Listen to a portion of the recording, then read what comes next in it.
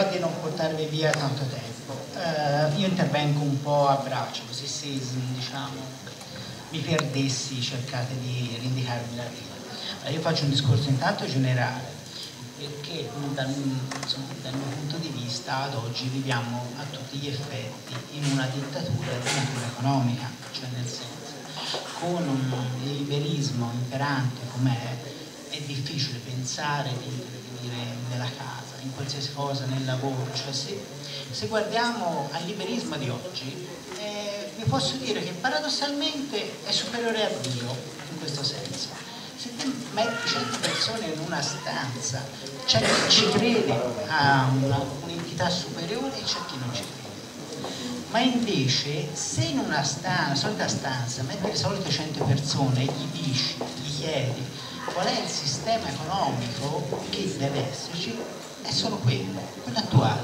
Cioè non viene posto che, posta anche solo la possibilità che ci sia un'alternativa. E se chi la pone cioè è una, una mera minoranza. Questo è il paradosso in cui siamo ed è anche il paradosso che non permette molte volte, cioè che non permette in nessuna maniera un'alternanza, cioè un'alternativa. Non solo, è un sistema che usa molte volte strumenti molto fini, cioè un sistema riesce a stare in piedi da sé. Perché?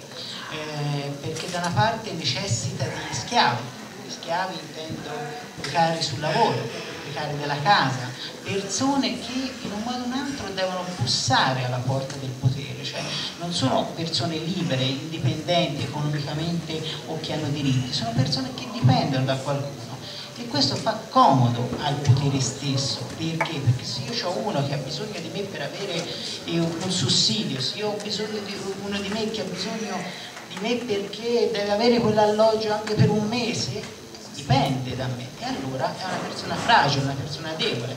Se ovviamente noi siamo nel campo della casa, però se immaginate eh, anche nel campo del lavoro, a tutti i contratti più assurdi che vedete nel campo del lavoro, a tutte le condizioni che la gente subisce, le subisce in una maniera tale in cui il datore di lavoro quasi dovreste ringraziarlo, perché, perché viene detto meno male tu c'hai il lavoro questo ecco perché dico è un, proprio un vero e proprio sistema. Non solo, la paura stessa che viene usata, la paura del diverso, dell'altro, che, in cui si accusa, come anche ha fatto presente Massimo, in cui si dice guarda la casa popolare non ce l'hai perché c'è quello di un'altra nazionalità, perché c'è quello che ha una pelle più scura di te, eccetera, eccetera, non per dire ad esempio tutti i soldi che vengono buttati via, non per gli interessi di Tizio, Caio, Sempronio, eccetera, eccetera, proprio in una logica invece di eh, cercare di distogliere l'attenzione e che dà una situazione che dà ovviamente, non permette ad oggi, almeno dal mio punto di vista, un'alternativa. Una, Detto questo, cioè, oltretutto sarebbe secondo me una frase che era Fichte se non sbaglio che mi tenevo sempre anni fa in camera che diceva sempre che non c'è più, più schiavo di colui che, ritiene di essere libero senza esserlo ed è la situazione di adesso perché si, si dichiarano i diritti di tutti i generi si dichiarano però poi non sono attuali. Questo era per Detto questo, io vorrei fare, ora non c'è sfortunatamente Barachini e io non mi posso permettere una, um, di dilungarmi sulla storia dell'Unione Inquilini, che anzi mi ha mandato pure poi i documenti e tutto, ma non lo faccio però, perché quando Barachini iniziava a fare l'Unione Inquilini al massimo andavo sul triciclo, così non lo farò. Una cosa però la voglio sottolineare, all'interno dell'Unione Inquilini, che storicamente nasce come il movimento di rivoluzione, questo penso che siate tutti d'accordo. Però negli anni all'interno, dal mio punto di vista, all'interno dell'Unione Inquilini sono, ci sono ancora due anime. Un'anima che se si vuole ancora rivoluzionare e un'anima che forse tende a istituzionalizzarsi in questo senso. Perché un conto è la lotta, un conto è le varie consulenze, assistenze, assistenzialismo, qualche volta che facciamo, qualche volta siamo anche costretti a farlo, perché aiutiamo una persona che ha lo sfratto all'ufficiale giudiziario sotto casa e, e, e, lo facciamo non tanto anche qualche volta per quella persona, ma per combattere per il diritto alla casa. Dall'altra però eh, facciamo assistenza. Quel, questo lo dico perché? Perché si deve stare attenti a questo secondo aspetto perché non dobbiamo diventare soltanto degli sportelli di consulenza o istituzionalizzarci, perché? Perché se ehm, perché nel momento in cui siamo solo attivisti è un conto, è vero che è difficile fare gli attivisti, perché c'hai qualche volta da pagare la sede, da pagare le bollette, c'è queste sciocchezzuole diciamo, e se lo fa l'attivismo molte volte lo fai proprio per spirito di libertà. E invece il problema è quando eh, inizia a diventare qualcosa di più, cioè nel senso apri lo sportello, il CAF, apri lo scuro sportello di questo, di quest'altro, riesci anche non solo a pagarti le bollette d'affitto, ma ti riesci a mettere un dipendente, cioè una persona, a pagare una persona.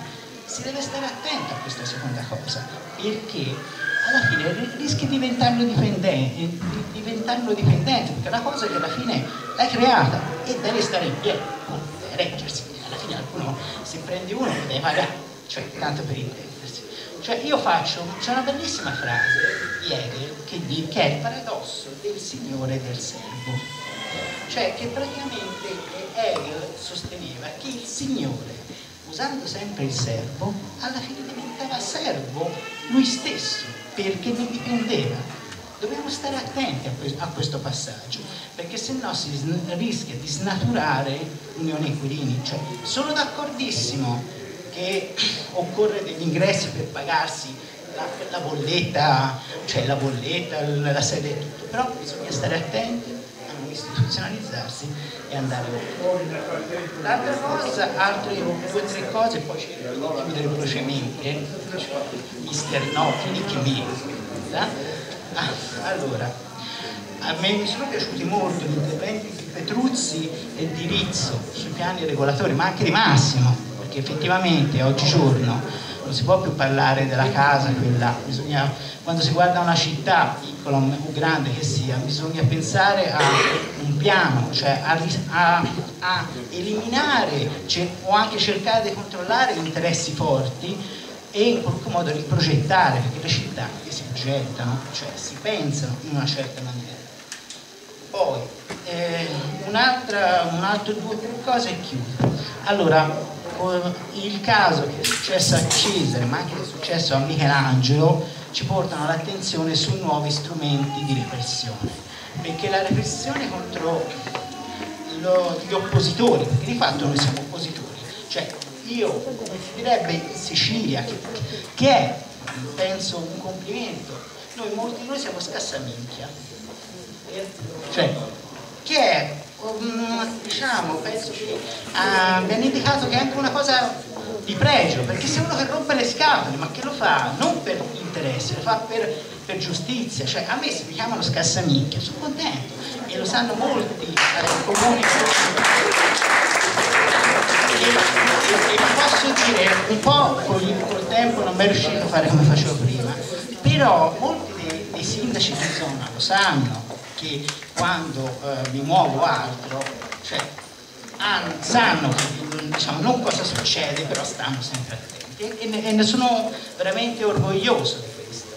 Però detto tutto questo, contro gli scassamicchia, cioè, ci sono vari sistemi, cioè nel senso per opporsi, lo sputtani, scusate la finezza terminologica, io lo aspetti sotto casa e arriva uno incappucciato da ammazzate, gli mandi la polizia, eccetera, eccetera. Ma qualche volta eh, chi lo fa è vestito con giacca e cravatta e fa l'avvocato, come è successo nel caso di eh, Cesare, ma nel caso di Michelangelo. E vorrei chiedere a qualcun altro se di noi presente, perché io ho presente questi due casi, ma certamente ce ne sono molti. Allora la mia idea era questa, di, e lo dirò perché la stavo scrivendo non è riuscito a finirla, però di presentare un ordine del giorno, una mozione, impegnando la futura segreteria che verrà domani a muoversi e a tutelare i membri dell'Unione Inquilini che venissero diciamo, aggrediti da denunce o, altri, o, altre, diciamo, o altre situazioni, in una logica di questo genere, che quello che fanno a uno lo fanno a tutti Cioè, la mia logica è questo, e anche se lo fanno a uno se ne, be se ne beccano le, la risposta di tutti, dal mio punto di vista.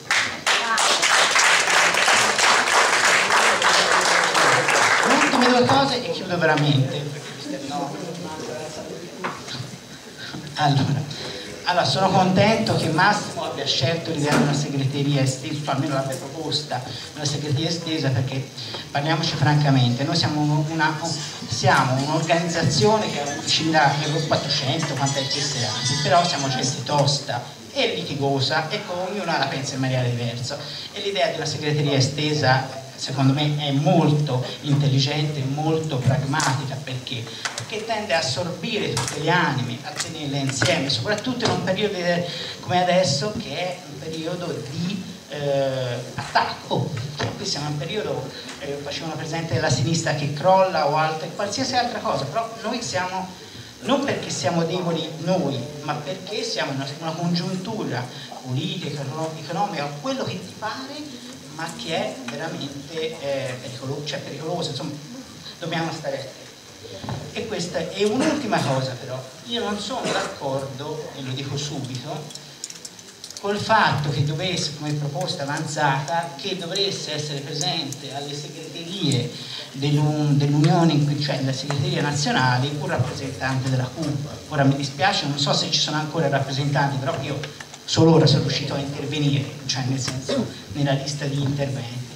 Questo non per altro, ma perché sono fiero dell'Unione Inquilini nell'indipendenza e nell'autonomia che ho, non perché mi viene ovviamente quello della CUB come anche invitato, però preferisco, se devo dialogare con la CUB, se devo dialogare con tizio Caio Sempronio, preferisco farlo dall'esterno, cioè nel senso proprio per un fatto di indipendenza, cioè di fatto che io dialogo con tutti.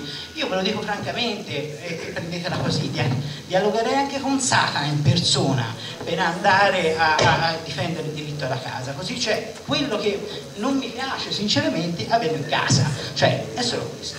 Basta.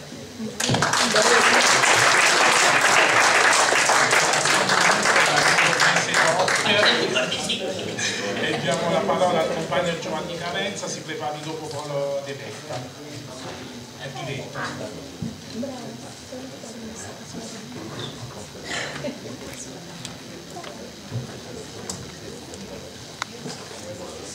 Beh, eh, tre anni fa partecipavo al mio primo congresso nazionale degli inquilini e riuscivo a capire per la prima volta cos'è l'Unione Inquilini. In questo congresso non solo vedo confermate eh, le mie impressioni di tre anni fa, ma riesco a capire che c'è un'evoluzione in atto, c'è un processo che, che, sta producendo anche delle novità, nuove leve, giovani e anche una consapevolezza diffusa della, della fase, di quanto è difficile affrontare questa fase ma anche delle risorse che abbiamo a disposizione al nostro interno, pur essendo un piccolo sindacato, un sindacato capace di,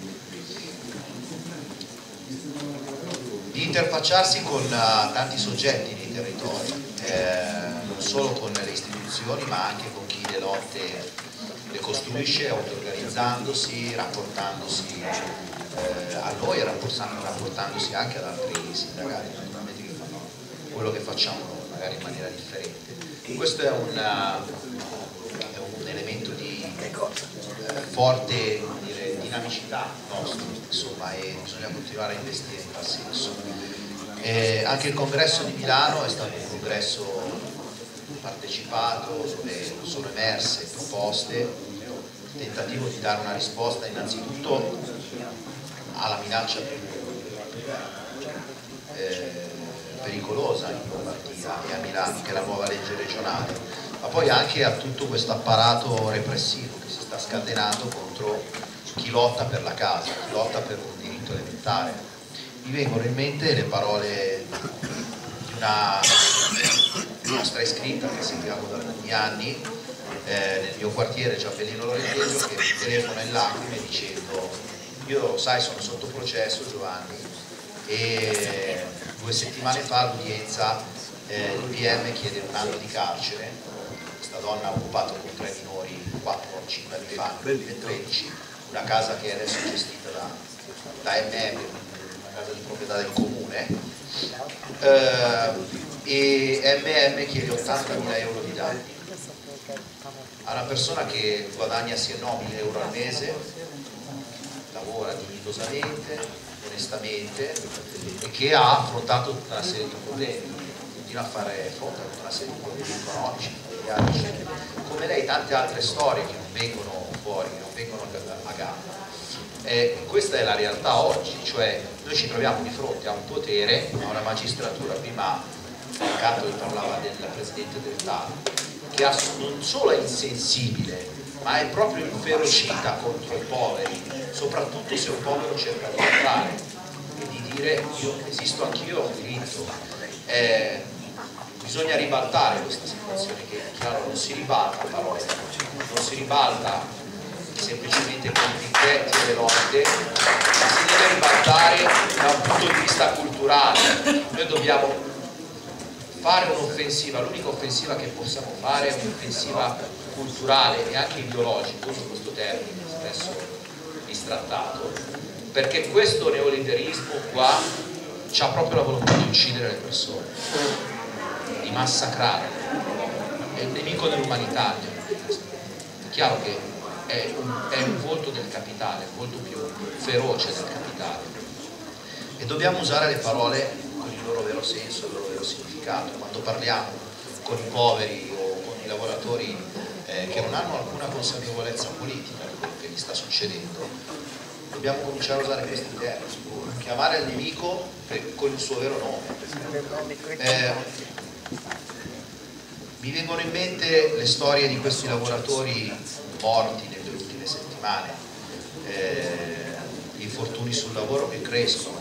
Anche lì quello che mi colpisce, mi fa stringere il cuore è la solitudine di queste persone, l'accettazione passiva di una cosa che sembra ineluttabile, cioè io vado a lavorare e può essere che non torno a casa dalla mia famiglia, muoio sul lavoro ed è una cosa normale, vengo sfrattato, perdo la casa, finisco in mezzo alla strada ed è una cosa normale, questo sta diventando una cosa normale, questo fatto qua, poi i giornali, i giornali ne parlano, uno, due, tre giorni poi tanto c'è il prossimo morto, il prossimo sfrattato, il prossimo licenziato ed è una cosa normale, non è una cosa normale, non è una cosa normale, non è un paese normale.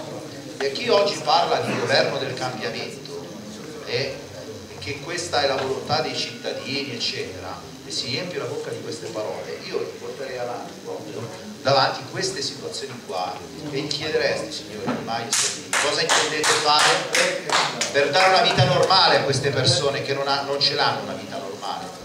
Oggi lavorare uccide, non hai diritto a una casa, se non, se non guadagni almeno 1500-2000 euro al mese non hai diritto a una casa. Se andiamo a vedere le statistiche, in Italia quanti pensionati superano la cifra di 1500 euro? Quanti salariati superano la cifra di 1500 euro? più del 50% della popolazione non supera questa somma. Quindi vuol dire che lì c'è una condizione, una condizione di rischio povertà e di eh, dire, anche di vera e propria indigenza. Quando tu perdi, appena perdi il posto di lavoro nel giro di uno o due anni, esauriti gli ammortizzatori sociali, ti ritrovi col culo letteralmente per terra e non ci sono politiche abitative degne di questo nome, da nessuna parte, da nessuna parte. Eh, a Milano è stato detto più volte, ci sono 10.000 alloggi sfitti. 10.500. Un quarto praticamente, un quinto degli alloggi sfitti a livello nazionale, una cosa enorme, no? La Lombardia e Milano in particolare sono proprio in cima a questa, a questa lista. E io penso che dobbiamo tornare a Milano con, anche con questa parola. Basta alloggi sfitti eh, e basta venditi all'asta degli alloggi. Quella è un'altra vergogna no? la proposta dei bandi popolari qualsiasi proposta, forma di lotta che possa mettere luce queste contraddizioni la nostra è praticarla e non solo come unione inquilini dobbiamo essere capaci, io credo, e non ce l'abbiamo nel nostro DNA questa cosa, di proporre agli altri, soprattutto a chi vive il problema della mancanza di una casa, le famiglie graduatorie, comitati, le persone che si auto-organizzano, eccetera, o che vivono in uno stato di occupazione, di farla insieme questa campagna, contro gli alloggi sfitti e contro la vendita degli alloggi all'asta. Perché? Perché i numeri parlano chiaro, inutile che sto a. A Milano comunque 25.000 famiglie in graduatoria e tutto quello che è successo negli ultimi anni, eh, le deroghe che sono state abolite, eccetera, non ci sono più canali per riuscire in qualche modo a graduare gli sfratti, ad arrivare a soluzioni che non siano la famiglia buttata in mezzo a una strada o nelle migliori delle ipotesi, nella migliore delle ipotesi la famiglia che finisce in una comunità sappiamo come va a finire in caso famiglie che si separano, marito e moglie, insomma conviventi che eh, si perdono di vista eccetera eccetera e tutto quello che ne consegue sulla pelle dei, dei figli, eh, io concludo e, e, voglio parlare un attimino anche del tema delle risorse. È stato scritto questo documento tutto quello che si può dire sul tema delle risorse, ma anche qui penso che bisogna fare di più, bisogna costruire una campagna nazionale per dire dove sono le risorse e, e, e a chi bisogna prenderle eh, in questo paese può, è vietato parlare di patrimoniale, è vietato parlare di eh, quanto eh, guadagna la rendita, no? e si è detto prima, di diversi interventi l'hanno detto, dovremmo cominciare a dare i numeri in questo senso e a dire che se ci deve essere un cambiamento in questo paese non deve andare nella, direzione di ridurre le tasse ai ricchi, la flat tax, la tassa piatta, ma deve andare nella direzione esattamente opposta, quello sì che sarebbe un cambiamento. E eh, vorrebbe dire prendere, eliminare la cedolare secca, prendere le risorse da quel 1% più ricco e destinarlo sia a un fondo per le politiche abitative, un piano casa nazionale, un piano casa nazionale che significa un milione di alloggi popolari in Italia. Anche Corbyn in Inghilterra dice la stessa cosa, un milione di alloggi popolari e, e, e questo eh, verrebbe sicuramente accolto da certi soggetti eh, come, come enormità, no? come milioni di alloggi popolari, ma l'edilizia pubblica non serve, fallita, eccetera. E non è così invece, sappiamo esattamente che è il contrario, la verità è che le politiche di privatizzazione e di liberalizzazione sono fallite. A vent'anni di distanza dalla, dalla legge 431 del 98 i risultati sono sotto gli occhi di tutti ci stanno centinaia di migliaia di famiglie in Italia che vivono in pieno disagio abitativo e almeno un milione e mezzo di famiglie che sono lì, lì per, devono scegliere se pagare l'affitto o fare la spesa e, e, e via, via così insomma. Quindi a fronte di una situazione del genere c'è bisogno di più unioni inquilini. E un'ultima cosa, a proposito della, del rapporto che abbiamo con la io non sono solo favorevole, sono favorevole come alla presenza della comunità ma oltre a questo io sono perché in ogni eh, mobilitazione lotta che si fa sul territorio come CUB, io sono iscritto tra l'altro alla CUB, ci sia l'appoggio, il sostegno attivo da parte dei militanti dell'Unione Inquilini e viceversa. Cioè eh, quello che si faceva 50 anni fa eh, a partire dai consigli di fabbrica poi le lotte venivano portate nei quartieri, bisognerebbe tornare a farlo, cioè un'unità, costruire un'unità profonda tra lavoratori e eh, abitanti che lottano per il diritto all'abitare, che in fondo sono le stesse persone, quelle stesse persone licenziate, quelle stesse persone che muoiono sul posto di lavoro, sono poi le stesse persone che vengono sfrattate e perseguitate dai tribunali. Dobbiamo ricostruire unità dal basso dei ceti popolari, ricostruire quel blocco sociale che le politiche degli ultimi 30-40 anni hanno frantumato. Grazie.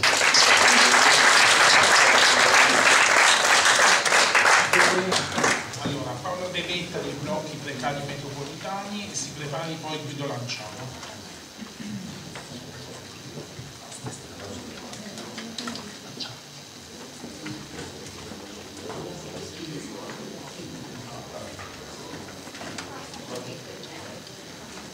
buonasera a tutte e a tutti. Allora,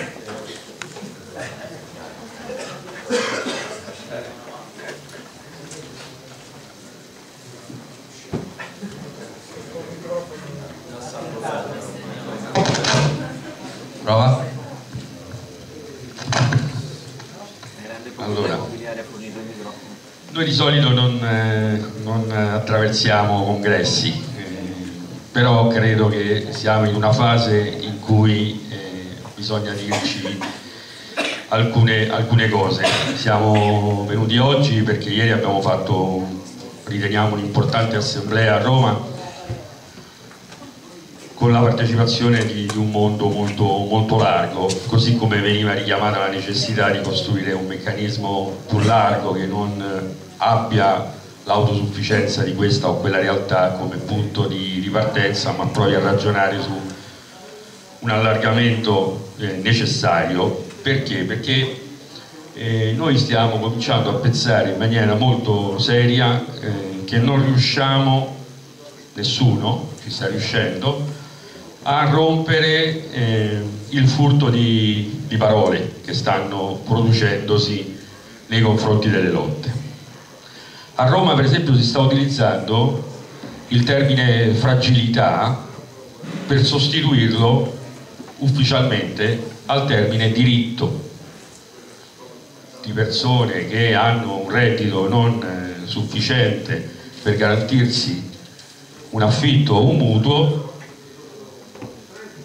e credo che il contratto che Salvini e Di Maio hanno sottoscritto, stanno sottoscrivendo, va esattamente in questa direzione, quando afferma che la situazione di reddito difficile, l'insufficienza di reddito, non è giustificazione per azioni come quello di un'occupazione di un alloggio. E per cui bisognerà intervenire nei confronti anche degli alloggi e degli stabili occupati per risolvere questa questione.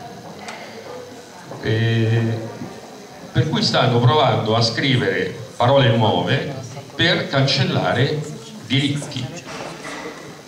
La stessa cosa la sta facendo, credo, la sindaca di, di Roma e forse è una cosa che faranno altri sindaci in giro per l'Italia, ha aderito il 17 di ottobre alla giornata per l'eliminazione della povertà, la giornata internazionale per l'eliminazione della povertà. Non so chi è di Roma che sta qui, cioè qualcuno lo so, però non so quanti sono. Io penso che la Raggi non abbia fatto niente per l'eliminazione della povertà nella nostra città da quando governa. Però ha aderito alla eh, giornata internazionale per l'eliminazione della povertà Addirittura c'è stata una mozione presentata in Consiglio Comunale di adesione all'anagrafe eh, antifascista. Beh, l'articolo 5 della legge Lupi è la cosa più fascista che c'è dentro la gestione delle politiche abitative dentro questo paese. Un articolo che è stato contro il quale il Movimento 5 Stelle ha votato beh, non c'è amministrazione e non c'è nemmeno l'amministrazione Raggi che è stata capace di non usarlo.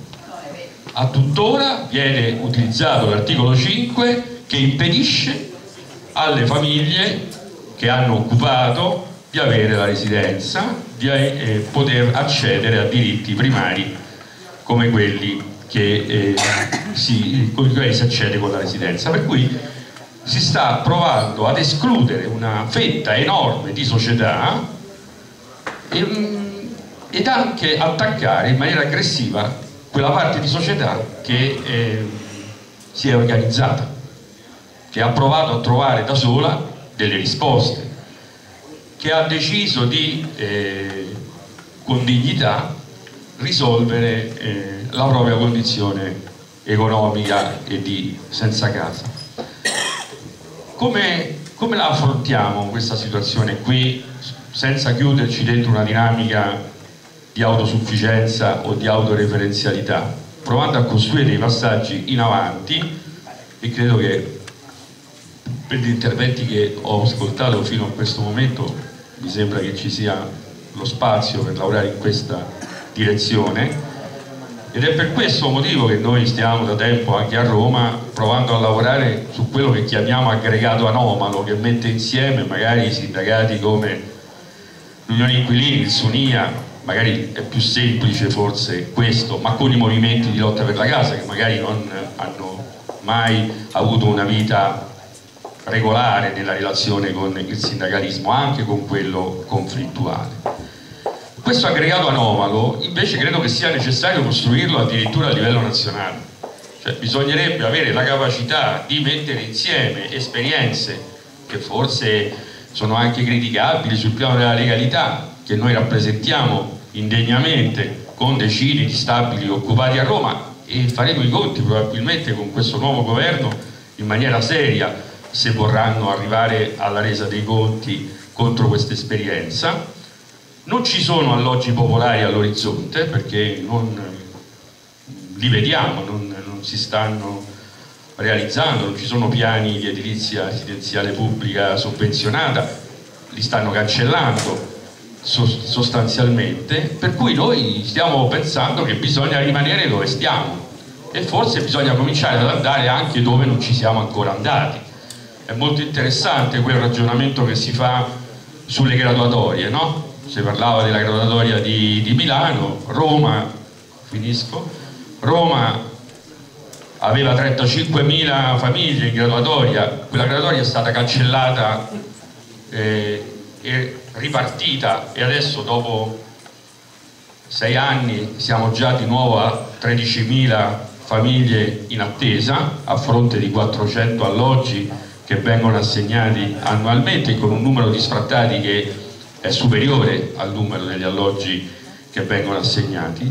Per cui non avendo case popolari all'orizzonte ma avendo anche tante case vuote bisogna cominciare a ragionare insieme come questo aggregato anomalo sia in grado di riconquistare queste case e di rimetterle di nuovo non sul mercato ma dentro una dinamica di diritto che dobbiamo affermare. E chiaramente noi non saremo in grado di farlo da soli, non è in grado di farlo da soli non inquilini, non è in grado di farlo da solo nessuno. Questa battaglia con un governo così come si sta dimensionando o si va tutti insieme oppure un po' parafrasando frasi più importanti, o si vince o si muore, cioè nel senso che la dinamica che si sta producendo dentro il paese, e chiudo su questo, sta cercando dei nemici. I nemici sono i rom, i migranti e i poveri. La dinamica di contratto che c'è eh, adesso in fase di eh, stipulazione cancella alcuni diritti fondamentali della popolazione migrante li mette dentro meccanismi di annualità di residenza dentro questo paese addirittura introduce il meccanismo se hai occupato e non sei un migrante regolare ti espelliamo immediatamente cioè c'è una dinamica di accanimento che non riguarda i migranti che riguarda la povertà cioè i poveri sono colpevoli di essere poveri e in quanto tali vanno colpiti e quel passaggio che riguarda che non è giustificato sostanzialmente occupare se non hai soldi, è proprio il nodo. Perché cosa dicono?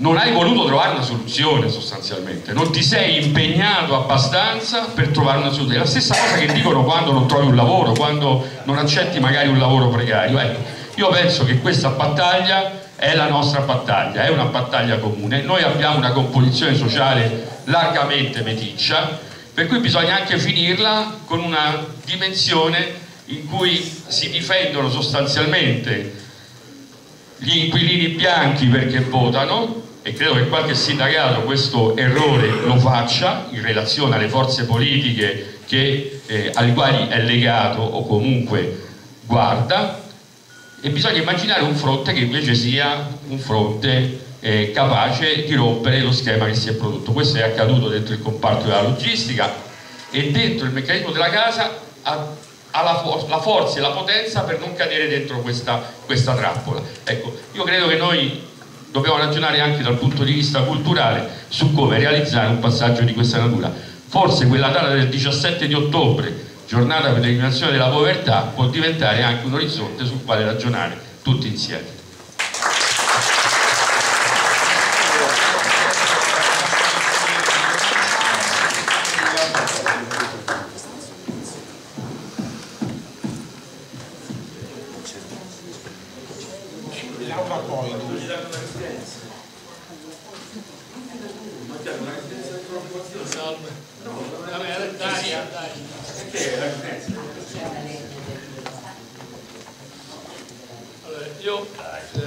Se è possibile chiedo alla eh, Presidenza, siccome faccio l'intervento eh, come eh, tesoriere e poi come eh, delegato, se sforo qualche minuto in più, tanto come tesoriere vedrò quando sarete dormendo tutti quanti, smetto di però è, è, anche credo che sia eh, non solo necessario ma anche eh, a domani. Ah domani. Ah domani mattina? Ah beh allora ah, se, se, la devo fare domani mattina lo faccio domani. Benissimo perfetto. Allora solo come Vabbè. No, Costo che conti sai, cioè quello volete sapere prima così non venite direttamente. Adesso puoi parlare.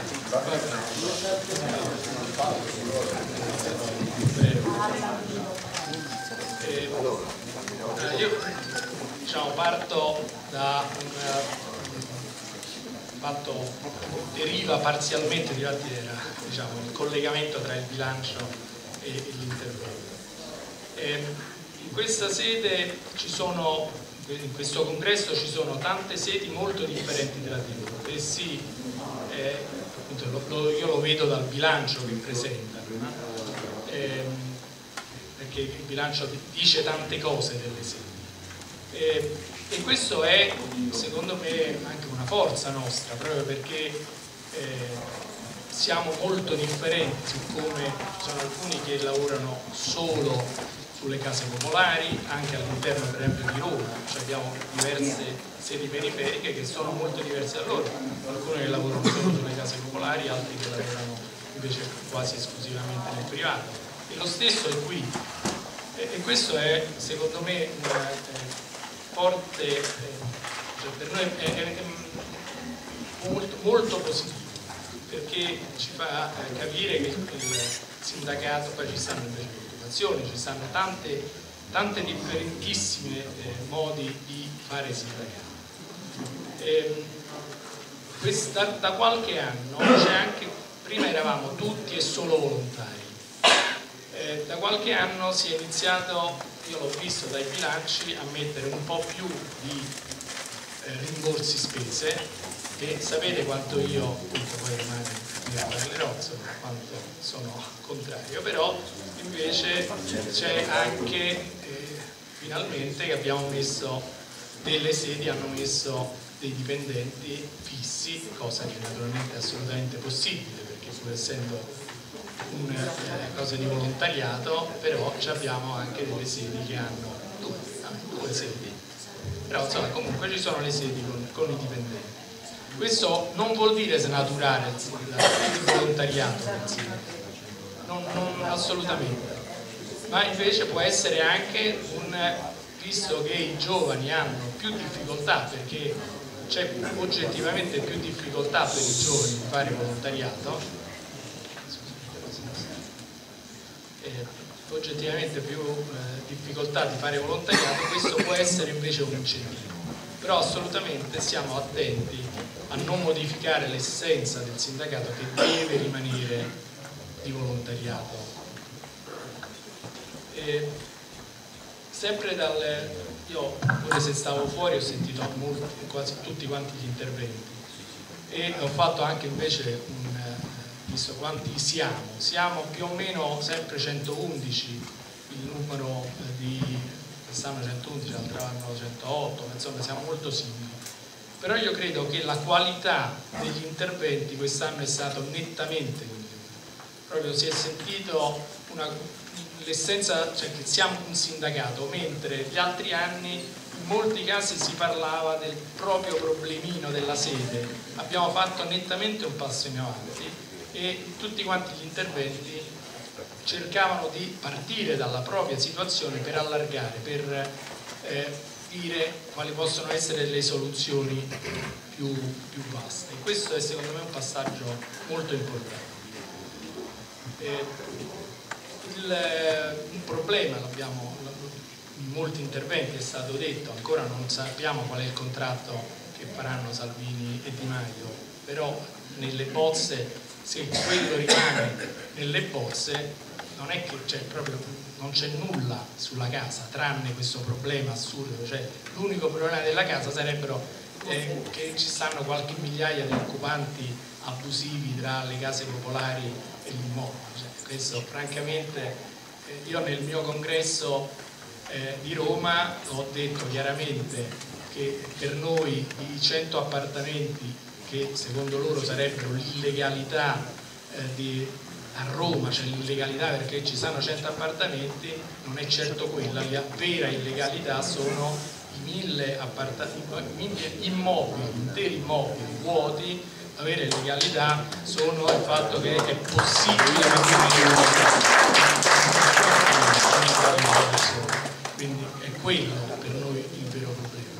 Ma non credo, non è che chiedevo che ci fosse scritto questo naturalmente nel contratto ma veramente non c'è nulla su urbanistica, nulla su che cosa vuol dire avere una prospettiva eh, su, sul problema dell'abitare in Italia. Quindi sicuramente saranno momenti molto duri e eh, quello che stiamo tentando di fare a Roma, quello che in molti di questi interventi è stato chiesto, una programmazione di una forte mobilitazione per eh, i primi mesi i primi giorni dopo l'estate sicuramente la dobbiamo mettere in campo perché eh, sarà necessario far capire che cosa vuol dire il diritto all'abitare a questo governo se nasce.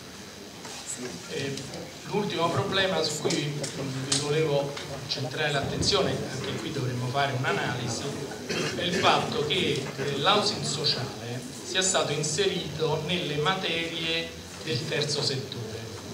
Questo vuol dire che eh, Milano ce lo insegna, la Lombardia ce lo insegna, e cioè che loro vorranno molto probabilmente esternalizzare anche le case popolari e darle al terzo settore cosa che appunto sta avvenendo, ce l'hanno raccontato in questi, già da, da qualche congresso milanesi e questo è quello che avverrà e quindi noi dobbiamo capire che cosa vuol dire che, eh, che abbiano inserito come materia di cui si possono occupare come se fosse eh, eh, l'housing sociale come la, la bellezza, le, eh, queste altre che, che, sono le altre materie eh, classiche della cultura, cioè le cose teoriche, no? di questo si occupa di solito l'housing sociale. Invece mettendolo come terzo settore appunto da una parte si dice che è assistenzialismo, solo l'assistenza,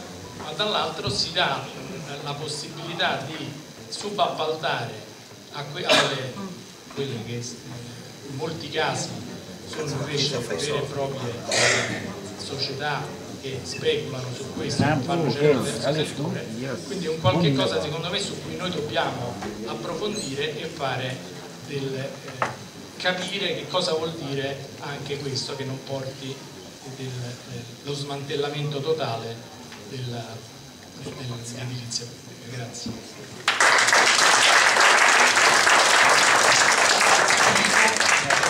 All'aula poi si prepari dopo Federico Pampaloni.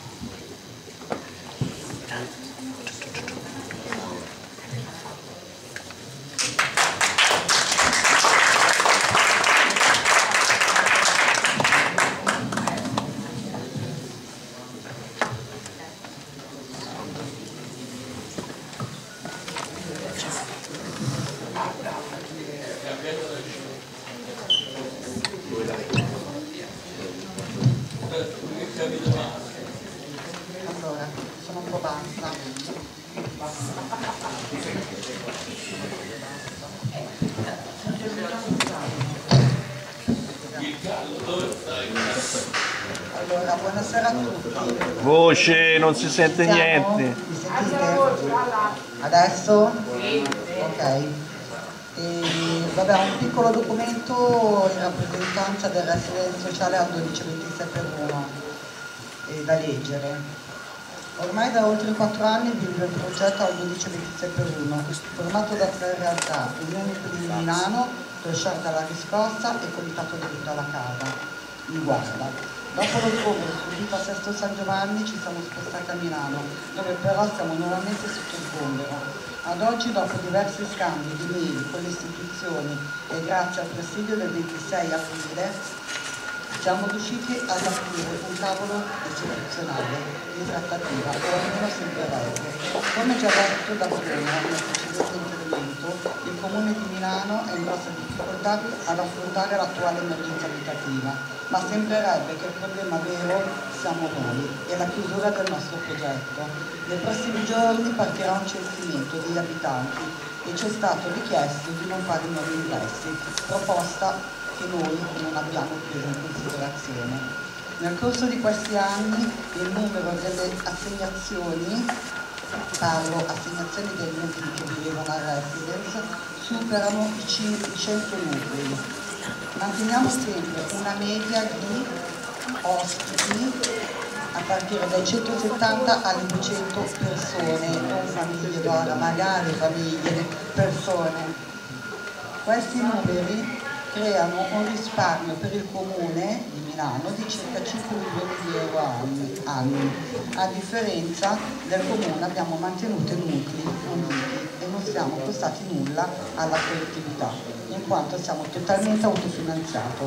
Altro problema, l'utenza dell'energia elettrica, perché come ben sapete noi abbiamo un regolare contratto pur essendo un'occupazione. A2A, che è una partecipata del Comune di Milano, eh, ci ha richiesto delle bollette esorbitanti, parliamo bollette che sono arrivate addirittura di 27.000 euro, 13.000 euro, 8.000 euro, quindi non è che parliamo bollettine così. Senza minimamente riconoscere l'importanza sociale del progetto. Noi comunque abbiamo versato e continuiamo a versare una quota mensile ritenuta dal collettivo di gestione più che equa. Nelle prossime settimane proseguirà la trattativa con il Comune. Il nostro scopo non è solo garantire soluzioni dignitose per tutti gli abitanti, per tutti gli abitanti non è solo garantire la continuità e l'esperienza del residence sociale, ma è anche quello di continuare ad essere una spina nel fianco del comune su un tema in cui il comune è gravemente inadempiente, quello della gestione dell'emergenza abitativa e dell'accoglienza temporanea. Adesso vorrei aggiungere due cose sgombero di Sesto, noi siamo stati sgomberati da Sesto San Giovanni, ad oggi, eh, sono passati oramai quasi due anni, ad oggi lo stabile continua ad essere chiuso e con la luce accesa. Quindi quello stabile e i riscaldamenti che vanno, quello stabile sta costando alla collettività e non serviva a nessuno, siamo stati assorti, parlavamo prima della denuncia, noi è ovvio, ogni occupazione è una denuncia che poi fondamentalmente ci prendiamo gli Weiner. E per Sesto San Giovanni era stato rinviato a giudizio Weiner, è stato assorto, ma in prima udienza è proprio stato chiuso, eh, proprio perché è stato riconosciuto lo stato di necessità. Ultima cosa che vorrei precisare sulla cooperazione di Via Olio, che ad oggi eh, ci hanno richiesto questo nuovo censimento che noi faremo ma ne abbiamo già presentato uno a novembre quindi è insomma un po' una presa in giro ma ancora ad oggi i servizi sociali ci chiamano e ci chiedono di ospitare le persone che abbiamo gestito l'emergenza freddo per il comune di Milano completamente gratis senza chiedere niente a nessuno. Quindi da una parte ci sono come sempre, io lo ribadisco sempre, le istituzioni che comunque utilizzano la nostra struttura, ma fondamentalmente l'unica parola che mi fa paura è la parola occupazione, ma per tutto il resto noi siamo legittimati e ci sentiamo legittimati. E lo ripeto sempre che se essere delinquenti vuol dire aver fatto quello che abbiamo fatto ne sono fiera. Mi riallaccio un attimino alla proprio per ultimo, proprio all'intervento che ha fatto De Guglio, in quanto eh, fondamentalmente siamo, eh, ci raggiungiamo a piedi e quindi la situazione, bene o male, è la stessa.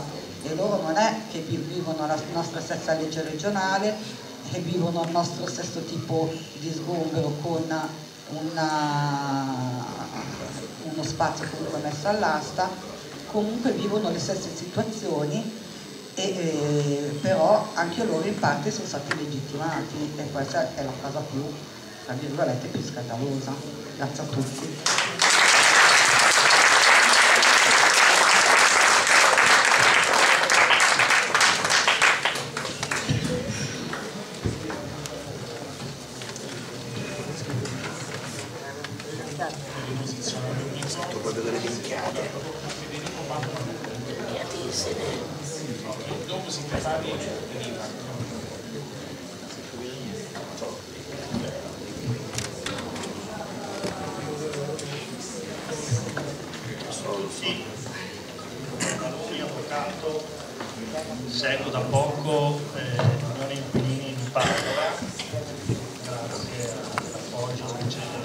Parlate più vicino al microfono, se no qua giù non arriva niente. Sì.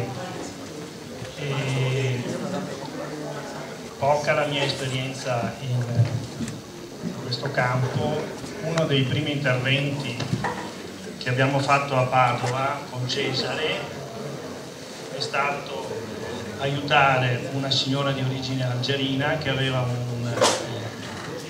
un'esecuzione immobiliare derivante da eh, pignoramento dell'Unicredit che poi crediti ceduti NPL eravamo già in fase di eh, accesso del custode giudiziario che sappiamo in base alla legge del 2005 poi può procedere direttamente con la forza pubblica a differenza degli sfratti e eh, liberare l'immobile in modo che venga eh, venduto prezzo si spera migliore per la banca e tutti quelli che ci mangiano dietro come libero. E quella è stata l'occasione che ha dato luogo eh, non so se sono io che porto sfortuna all'incriminazione di Cesare Rottolini per eh, violenza eh, privata e ieri sera eh, parlando con Cesare di questa vicenda gli ho detto eh, al processo ci dobbiamo divertire. Ma eh, lo dico convinto perché eh, ha degli aspetti paradossali secondo me questa, questa vicenda. E, per cui vorrei raccontarvi una barzelletta. Io sono uno di quelli che le barzellette non se le ricorda mai. Ma in questo caso vado bene perché barzelletta c'è scritta nella notazione dei carabinieri che hanno fatto alla procura sì, la barzelletta. Perché eh, eh Cesare Ottolini viene incriminato esattamente il capo di imputazione dice si poneva davanti all'ingresso dell'abitazione impedendo l'accesso del custode giudiziario. Questo preso dalla notazione dei carabinieri quando eravamo sull'atrio eh, che dava sull'appartamento e Cesare Ottolini si voleva impedire l'accesso all'appartamento sarebbe bastato che chiudere la porta ecco, quindi questa violenza privata eh, mal si spiega. La barzelletta continua perché eh, i carabinieri in questa annotazione che ha dato luogo poi al procedimento accusano di aver detto falsamente che lui non aveva detto al, al custode giudiziario di uscire.